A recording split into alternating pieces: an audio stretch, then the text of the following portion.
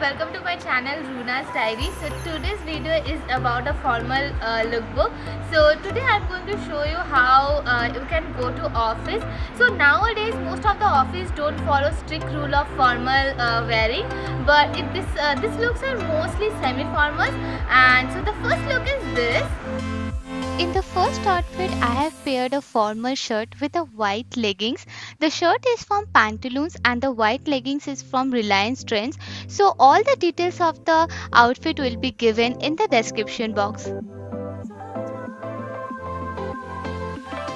In this look, I have paired a full sleeve formal shirt with a jeans. So I have chosen the jeans color is very neutral uh, so that the jeans will look like a formal pant and I have wore this look when I have given interview.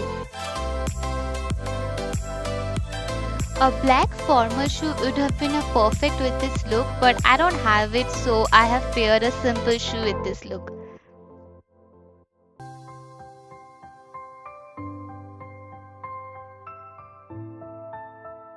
In this look, I have paired a chiffon white top with a blue leggings. So you can choose this solid colors to pair up and uh, this solid colors give, gives a very formal look.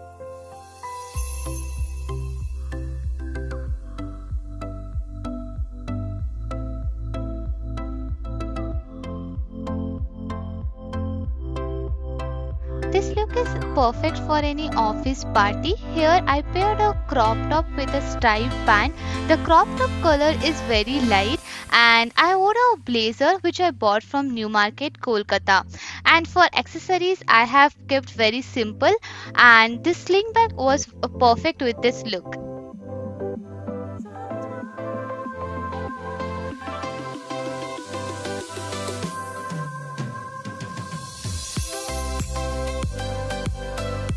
In India, kurti and salwars are also comes under the formal wear.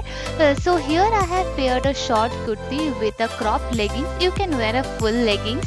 And uh, again for the makeup and the accessories, I have kept very minimal.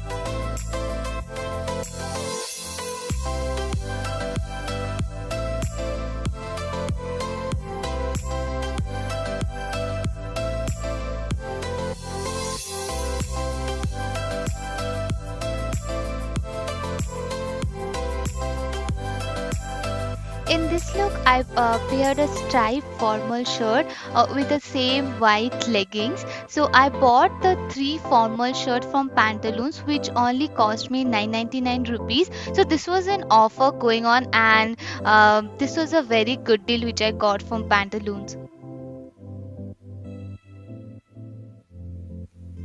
So this is the sh third shirt uh, which I bought from Pantaloons.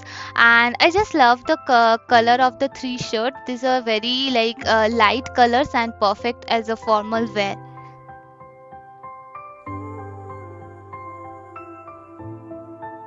In the last look, I have wear a asymmetric kurti with a black leggings. And this kurti actually was sleeveless so uh, that's why I wore a small shrug over it. And the look is complete.